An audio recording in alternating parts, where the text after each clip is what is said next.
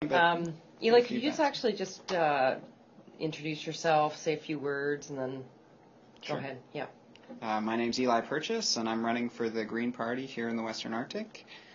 We've got a pretty exciting campaign lined up that I think people are going to like. So, Okay. Just a second now.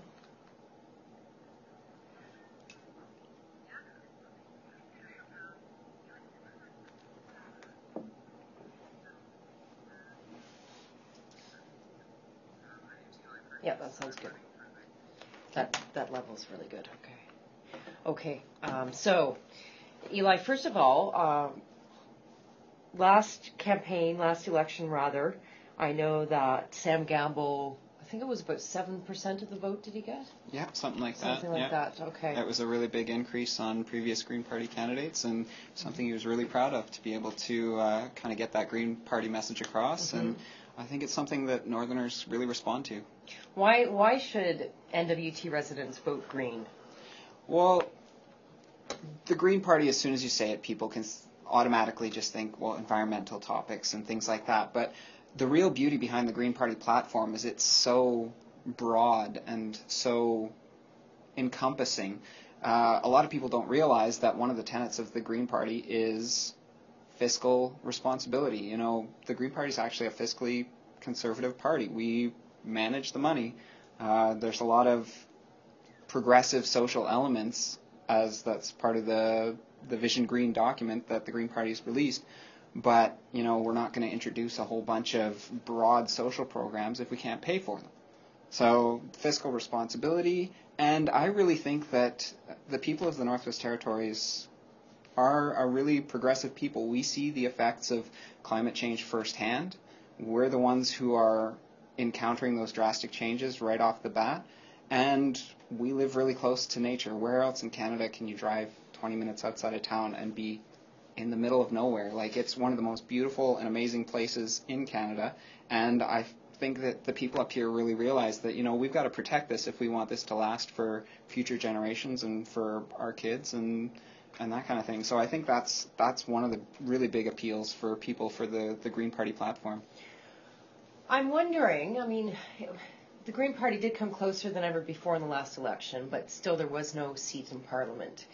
No, unfortunately. This year, I I think we're going to make a breakthrough this year. Elizabeth May, she's doing some polling in her riding, and according to her polls, she's actually really close to the Conservative candidate, Gary Lunn. So I, I think quite possibly you could see one, two, maybe four or five candidates. So do you think she'll get in this time? I, I think she's got a really great chance of getting in. So, and you know, you just need that one or two seats to really make that breakthrough where people start taking a second look at it. You know, so Is your success here in the NWT directly related to Elizabeth May's success on her campaign route? well, one of the major tenets of the Green Party is that MPs are responsible to their constituents first and the party second. So that allows candidates in their individual ridings to kind of tailor what they're running on to the needs of their respective riding. So I think that's actually one of the key things for, for the success of, of the Green Party in the last election and what's going to be a key for success in, in the coming election here is just that, you know what, we look at what our constituents want and what our constituents need and how they want us to represent them in Ottawa and go from that. We're not kind of beholden to that party line where we have to follow exactly what the leader says and that kind of thing. Okay, so the thing about the NWT is that you mentioned that you believe people here are progressive. That might be the case in in many ways. At the same time, there are a lot of people he- here who are really big on resource development. You still got a Yep. level going. Yeah, we're good. um, you know, resource development. They want to streamline the regulatory system. They they want more. Oh, for from sure. what I've heard, lots For- of for sure. projects and stuff like One- that. One, And resource they, development. They see, they see certain things as standing in their way. They even see the Wildlife Act as standing in their way. Well, you can't please everybody all the time, and you're right. Resource development is one of the the really really important things for the Northwest Territories. That's one of the huge generators for for the economy Sorry, sir. You're good. Yeah, no, I'm good. But my right. question for you though is, Sure. as a, as the Green Party, as the Green Party candidate, what are you going to say to those people? What are the green ideas for allowing some of this development to go forward in a greener way? Well, that's actually something that I'm really interested in pursuing. I'm interested in talking to business and I'm interested in talking to the mines to seeing exactly what their concerns are and see how maybe that can be addressed within a greener type of initiative. One major thing with the Green Party is this idea of you have you can't just look at the economic cost of something. You also have to consider the social cost and the environmental cost because something might look like a great initial deal where you end up having to pay a couple extra million dollars down the road because you didn't take spend that hundred thousand off the bat.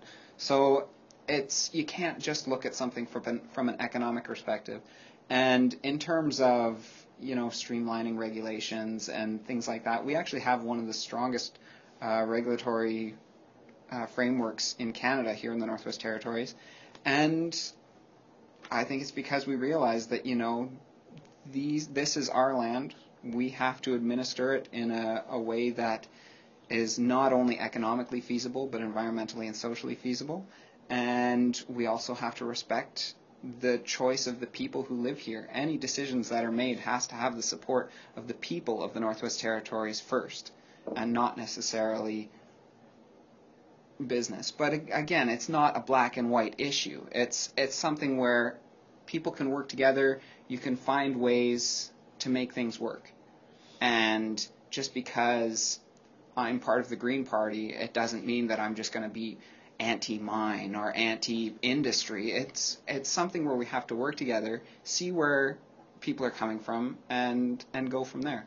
Well, so I guess that's what I'm wondering is, and I, I know you're not anti this or that, but, but does the Green Party have any ideas to actually, concrete ideas to show some of the mining companies to say, look, we've got this idea that, you know, will you consider looking at this in the next few years? Um, we all know that they, the diamond mines, were planning on, on signing up for the Taltson Hydro expansion project mm-hmm. because they're interested in, you know, tapping into greener energy. Oh, for sure. So I, you know, I think some people might want to hear some concrete ideas. And and that's where green energy and green initiative funding, I believe the federal government has to take a a key role in that to be putting that funding forward to the experts who can come up with these ideas. There's plenty of people out there who have great ideas for how mining can be done in an environmentally and socially and economically responsible manner or how po- different new ways of generating power. And the thing is, we need to be funding that research and funding those initiatives so that we have those options for industry to pursue.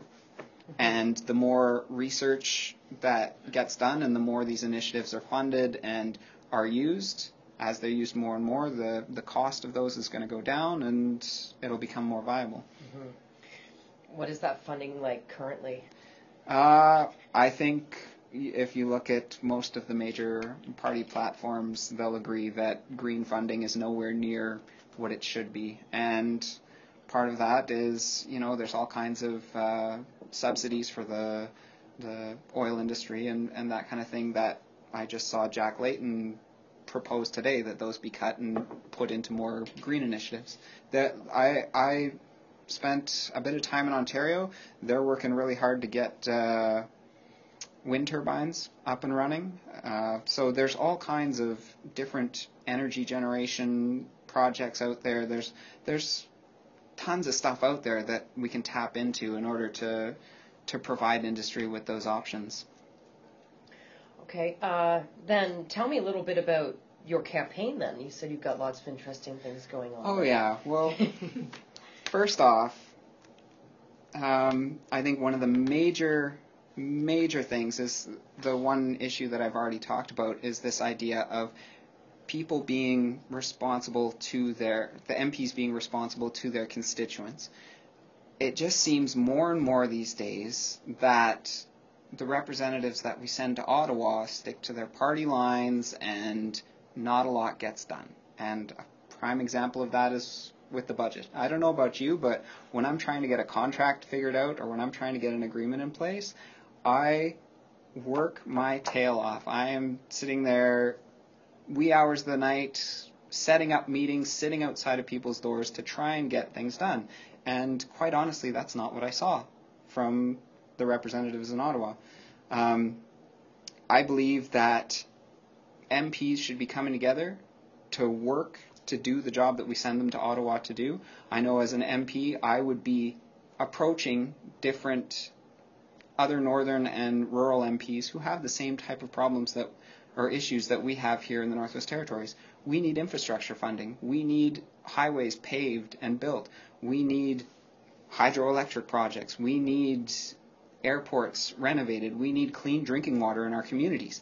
And I can tell you that there are other ridings across Canada, Nunavut, the Yukon, Wood Buffalo and northern Alberta, lots of northern Ontario ridings, northern Saskatchewan, northern Manitoba, northern BC. There are a lot of ridings out there who have the same types of issues that need that specific, unique northern rural response.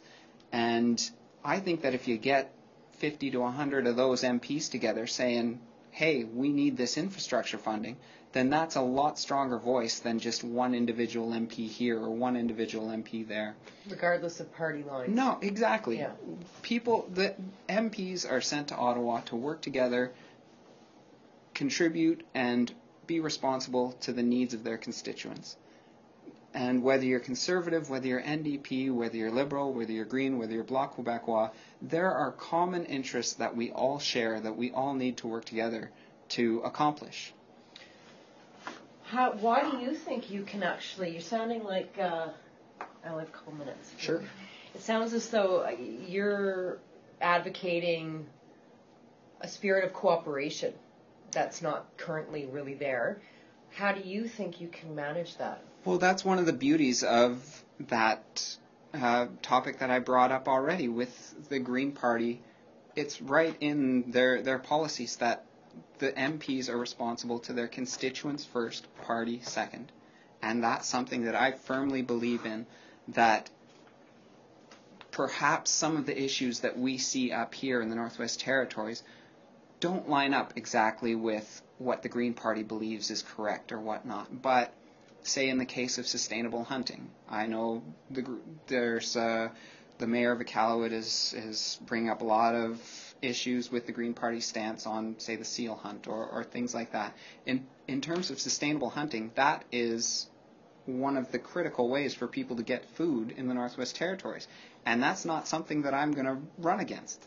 Like, yes, I'm a Green Party member, I'm running as the Green MP, but in that instance, I go with my constituents. And as a Green Party member, I'm young, I'm energetic, and I'm not beholden to those traditional, this is what the Liberal Party expects from their MPs, this is what the Conservative Party expects from them their MPs. We've got an exciting set of ideas for how we want to go forward, and I think that the people of the Northwest Territories are going to like it.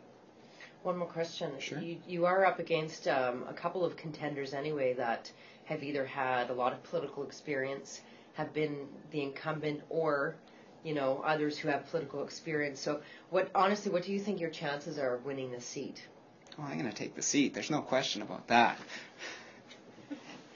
I I don't have all that political savvy. I don't have that all those years of experience sitting in the the, the respective chambers, going through the protocol and that kind of thing. I would be happy to increase the votership, the voter turnout for Greens. Uh, I believe that in this election, particularly, people are going to be able to vote how they feel.